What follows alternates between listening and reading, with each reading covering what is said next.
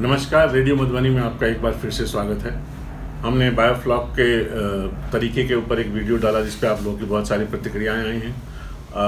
एक नंबर भी आया है जिस जो ट्रेनिंग कराना चाहते हैं, आपको अपनी पूरी जानकारी उस नंबर पे देनी होगी जो कि यहाँ दिया गया है। अगर वो चाहेंगे तो अगर आप सेलेक्ट हो सके तो आपको यहाँ पे ट्रेनिंग भी देंगे। आगे की जानकारी वही दे पाएँगे। आप इस नंबर पे उनसे व्हाट्सएप पे संपर्क कर सकते हैं। मैं जिस मुद्दे को लेके आपके पास आया हूँ मछली पालन को लेके हमारी एक मीटिंग हुई तो उसमें तरह तरह के पद्धतियों को लेके हम बात करते हैं। कभी हम आरएस को लेके बात करते हैं, कभी बायोफ्लॉक को लेके बात करते हैं। अगर आपको याद होगा तो हमने बाराबंकी में आपको एक ऐसा मछली फॉर्म भी दिखाया था, जिसमें सिर्फ़ पानी को बदल के एक अच्छा उत्पादन लिया जा रहा है।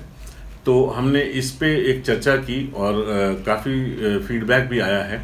जिसमें कुछ ऐसा एक बनता है कि अगर हम छः टैंक का एक सेटअप लगाते हैं, जिसमें हर एक टैंक में पाँच हज़ार लीटर पानी है और पंद्रह सौ पंगासिस की मछली है, और इसको हम 20 परसेंट पानी चेंज करते रहते हैं और साथ में एरिएशन देते हैं तो क्या इसमें मछली बढ़ के 300 ग्राम तक चार महीने के अंदर में हो जाएगी?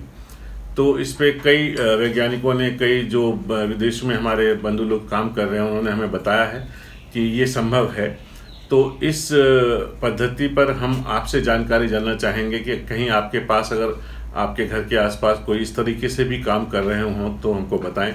जैसा कि हम पहले भी बता चुके हैं, हमारा एम जो है वो बहुत छोटे मछली पालकों के लिए है और वो अगर कम से कम खर्च में, जैसे कि मैं देख पा रहा हूँ कि अगर एक टैंक करीब हमको पच्चीस हज़ार रुपये का मिल जाता है और उसके ऊपर हमको पाँच एक हज़ार रुपये और लगाने पड़ते हैं एरिएशन वगैरह डाल के और वर्किंग कॉस्ट अगर हम लगा लें तो हमारी कॉस्ट क्या पड़ेगी और हमारा एफसीआर कितना निकलेगा?